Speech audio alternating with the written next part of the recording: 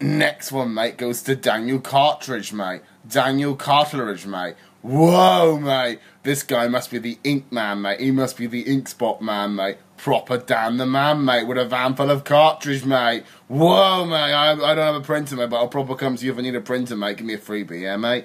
Yes, mate. This guy, mate, is proper quality, mate. He's got the cartridge, mate. So don't cry selling any dodgy printers, mate, because I'll tell you something, mate. He's got, he's got the proper ink for it, mate. It is with his cartridges, mate. Because he's from the Stevenage Massive, mate. So do not mess with Dan the man with his van, mate, because he'll shut you in his van with his cartridges, mate. Do not mess with this guy, mate, because I tell you something, mate, he'll do more than put an ink spot on you, mate. So do not mess with him. So big him up in it.